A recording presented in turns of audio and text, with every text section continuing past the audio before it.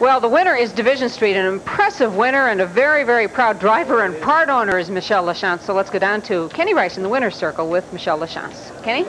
Thanks, Sharon. Mike, congratulations. This is the first time you've been in a Breeders' Crown race. Last year, the leading dash winner. Again, you're leading in the dash winning standings. And congratulations on the victory. Uh, thanks very much.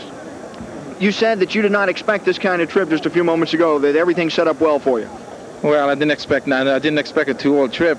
Uh, I thought I was going to have to settle for a third, sitting third, and maybe have to come first over. But it uh, turned out uh, very good for me. Two-hole trip, so. This has turned out to be a nice night for racing, of course. The, the track was dry and it was in very good condition tonight. Yeah, the track's in super condition. Yeah, we, we, we went even faster than what we than what I thought it was going to go. I thought that the race was going to go like between 53 and 54. So, but uh, we uh, we went the half in 56, so it's a pretty good half. So we just and I had a perfect trip, so I was home free after. Congratulations again, Mike Lachance. Thanks very much. Sharon?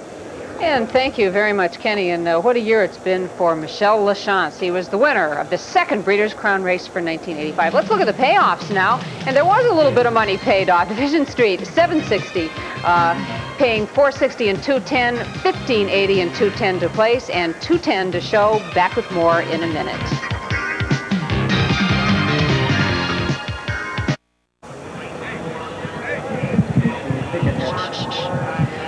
Welcome back to Free State Raceway in Maryland, where the presentation is underway to the uh, owners of the winner of the Breeders' Crown race for older pacers, Division Street, the winner, and it's a large group that owns this horse, including partially Michel Lachance, who is the winning driver and very happy person.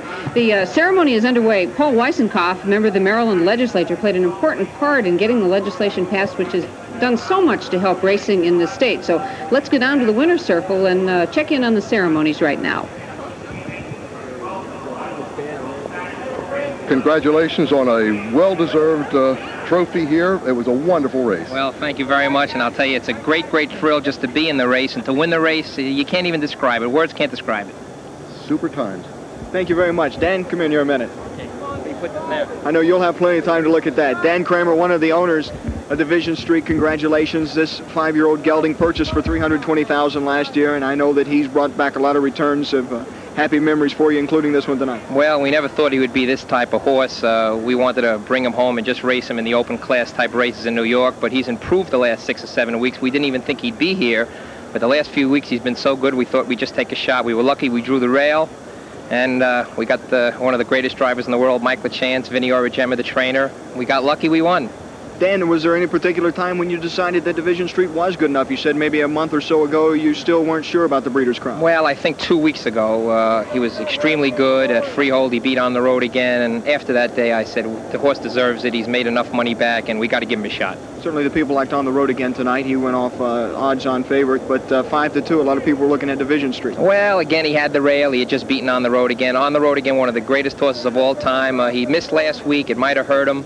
Uh, but he's a great, great horse, and uh, one hot summer, one uh, one bad race uh, necessarily doesn't make a year. And a very good race tonight for Michel Lachance, as, as usual for him, and also Division Street. Well, yes, and uh, he deserves a lot of credit along with his trainer and caretaker, Vinny and Joy Auriemma. Great thrill, can't can't describe it. Enjoy. Thank you very much, Thank Dan Kramer.